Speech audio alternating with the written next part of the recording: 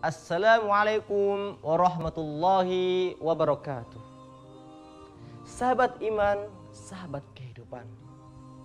Tahukah Anda pahala orang yang berdiam diri di dalam masjid untuk menunggu sholat? Dan tahukah Anda pahala orang yang berdiam diri di dalam masjid setelah sholat?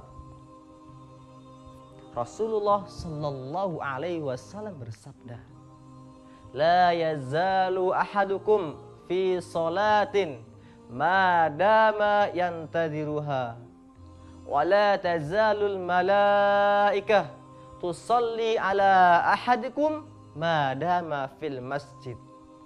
Allahumma ghafir lahu Allahumma arhamhu malam yuhdith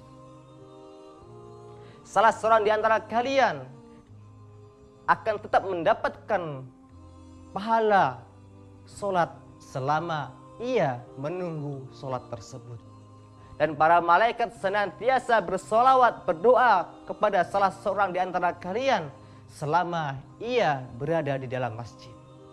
Para malaikat tersebut berkata, Allahumma firlahu, Allahumma arhamhu. Ya Allah, ampunilah ia Ya Allah, rahmatilah ia. Malam yuhdis, selama hamba tersebut tidak berhadas.